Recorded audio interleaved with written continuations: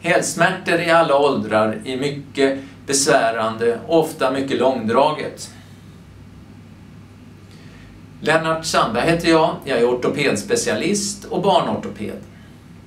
Den vanligaste behandlingen är att man behandlar med någon form av inlägg som ska ge lindring och stötdämpning.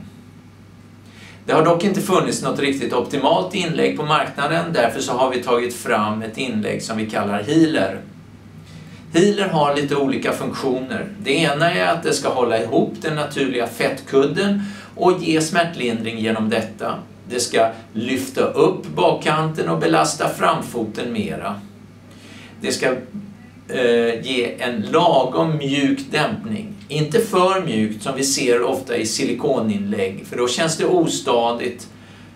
Och sen så har vi valt att dra ner bakkanten på hälkappan så att hälen ska möta bakdelen av skon och det ska kännas stadigt och bekvämt.